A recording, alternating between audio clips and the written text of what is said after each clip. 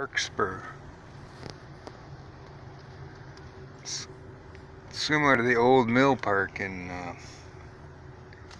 Mill Valley.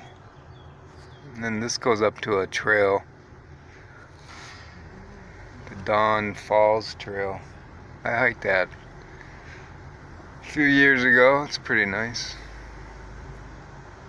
Tra- the, the waterfall really isn't that much, but it's a lot of nice scenery anyways.